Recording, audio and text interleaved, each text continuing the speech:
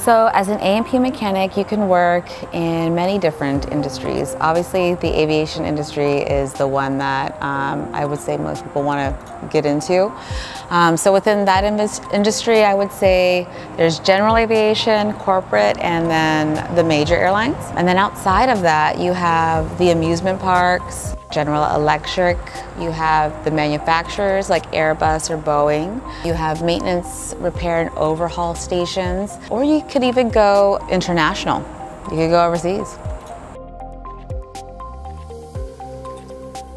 So typical starting pay, depending on what you're going to be doing and what industry you're going to get into. Um, so for aviation, I would say anywhere between 25 to 40.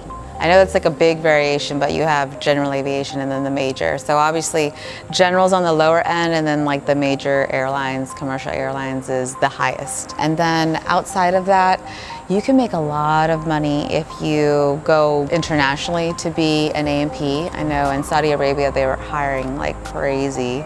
And then within the amusement parks, I would say anywhere between that 25 to $30 range for sure. And that's just starting, right? Just starting. Yes. So um, most of the time the students make their connections while they're going through the program. So we have a lot of employers that come through. Any and all students can come and join in to see what opportunities that company is offering. And then usually about six to three months before they graduate, they've solidified, you know, where they're going to be working.